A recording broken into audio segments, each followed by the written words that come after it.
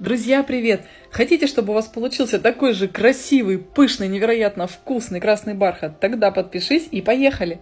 В дежу миксера добавляем яйца, сахар и щепотку соли. Отправляем взбиваться на максимальной скорости 10-12 минут.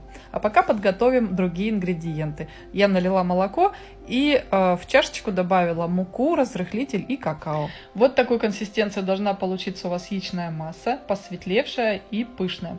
В молоко добавляю красный краситель и тщательно перемешиваю. Также до однородности я перемешиваю сухие ингредиенты. В молоко добавляю растительное масло и отправляю в яичную массу. В данном случае я перемешиваю аккуратно венчиком, ни в коем случае не пользуйтесь миксером.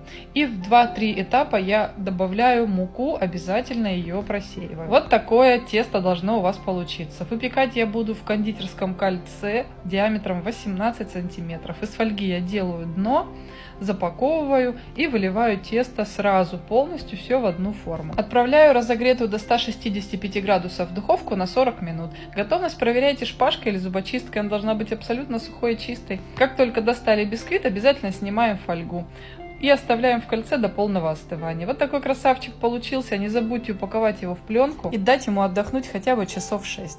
Не забудь поблагодарить меня лайком, подпишись, ведь впереди еще столько интересного.